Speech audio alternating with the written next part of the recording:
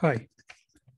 In this video, I will give an overview of our work speeding up neural architecture search using adaptive subset selection. This work is in collaboration with Abacus AI and UT Dallas. The problem of neural architecture search is to find the best architecture given a search space and a dataset. Earlier methods include evolutionary methods, reinforcement learning, and Bayesian optimization, etc., which took a lot of time for finding the best architecture.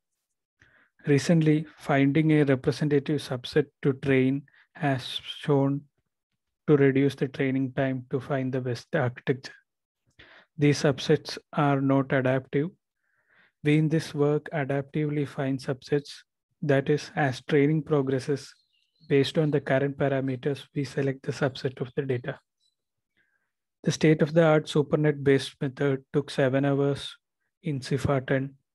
With our method, the time was reduced to 45 minutes. We use a SuperNet-based method, DARTS-PT, by Wang et al. as our base model. DARTS-PT is an extension of DARTS model, a SuperNet-based model where each edge represents an operation of the search space and each node is a feature map. The training objective is to learn weights of the operation like convolution as well as parameter alpha that indicates the strength of the operation. This is solved using a bi-level optimization problem where in the inner loop we fix alpha and optimize for W and in the outer loop we fix W and optimize for alpha. After training, we get the values for alpha for each operation and we select the operation with the highest alpha value between any two nodes. DARTS-PT asks the question of whether relying on alpha to select the best operation is the correct approach. The approach DARTS-PT use is by masking out all the operation except the one that we consider and reevaluate the supernet to find the strength of the particular operation. The operation which on masking results in the largest drop in SuperNet's validation accuracy is considered the most important operation on that edge. DARTS-PT improved the results of DARTS on sub, some search spaces, but the SuperNet training time was an overhead. DARTS-PT took 7 hours for CIFAR 10 and 33.5 hours on ImageNet 16 120 dataset.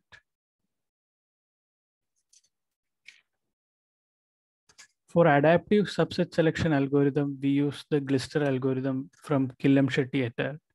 We select a subset of training data based on the current parameters, such as the loss on the validation set, such that the loss on the validation set is minimized.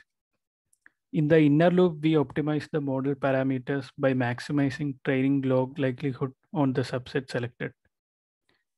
In our method, we use DARTS-PT as the base model with adaptive subset selection using Glister algorithm. We define a bi-level optimization problem.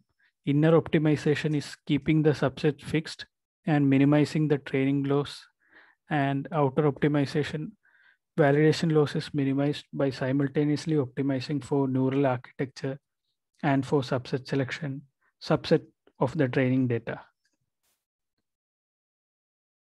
Experiments were performed on three search spaces and different data sets.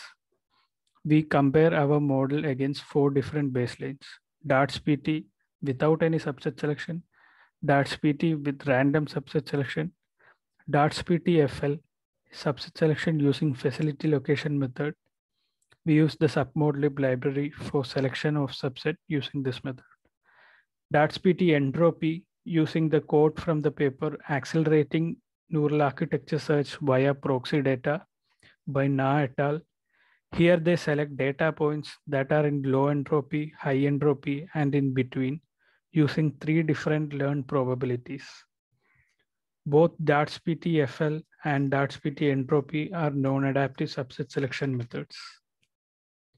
We achieved best or near best results on all the search spaces and datasets. A comparison with DARTS-PT shows that our method achieves comparable performance with DARTS-PT while saving a lot of time. Thanks.